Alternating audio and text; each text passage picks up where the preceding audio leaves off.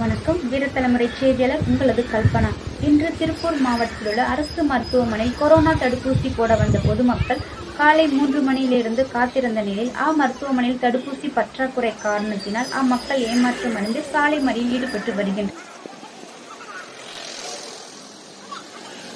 திருவெற்றூர் தாங்கல் அம்மா உணவகத்தில் பசியின்றி தவித்து வரும் பொதுமக்களுக்கு அங்கே பணி செய்யும் பெண்மணிகள் மகிழ்ச்சியோடு பணி செய்து வருகின்றன. இதை நமது வீரத்தலைமுறை நிருபர் கே ஆர் வெங்கடேசன் நேரில் ஆய்வு.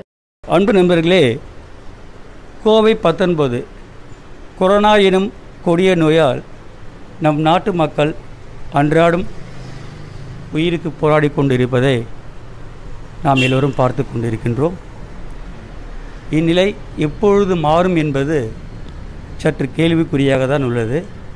ஐயா உங்கள் பேர் சொல்லுங்கய்யா பால பாலசுப்ரமணியம். பாலசுப்ரமணியம். நீங்கள் என்ன பண்ணுறீங்கய்யா வீட்டு வேலை செய்றீங்க. இங்கே தான் வந்து சாப்பிட்றீங்க இல்லையா? நல்லா இருக்கு. சாப்பாடு எல்லாம் நல்லா இருக்கு. எப்படி இங்க நல்லா செஞ்சு உங்களை? ஆ எங்களே இல்லை. பொதுவாக எல்லாரும் நல்லா பார்க்குறாங்க சார். கவனிக்கிறாங்க. ஆமாம் சார். ஓகே. நல்லா அன்பா பணிவா நடந்துக்கிறாங்க. ஆமாம் எந்த ஒரு குறை எல்லாம் செய்கிறாங்க நல்லா Right. ஓகே. வேற ஒன்றும் இல்லை. சாப்பாடுலாம் நல்லா இருக்கா? சாப்பாடு அருமையாக இருக்கு. நல்லா இருக்கு நல்ல விஷயங்க பரவாயில்ல. ஜூன் ஏழாம் தேதி முதல் ஜூன் பதினாலாம் தேதி வரை தளர்வுகளை கொண்ட ஊரடங்கு நீட்டிப்பு.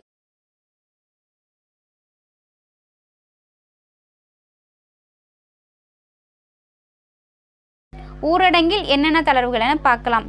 காய் விற்பனை பூக்கள் விற்பனை பழ விற்பனை அனைத்தும் செயல்படும். இறைச்சி சந்தை மீன் சந்தை மொத்த விலைக்கு மட்டுமே செயல்படும். ஷார் பதிவாளர் ஆபீஸில் ஐம்பது டோக்கன் வழங்கப்படும். அரசு வேலை செய்பவர்கள் முப்பது சதவீத பேர் பணிபுரியலாம். தீப்பெட்டி தொழிற்சாலையில் ஐம்பது சதவீத பேர் பணிபுரியலாம். இத்துடன் உங்களிடமிருந்து விடைபெறுவது உங்கள் கல்பனா. நன்றி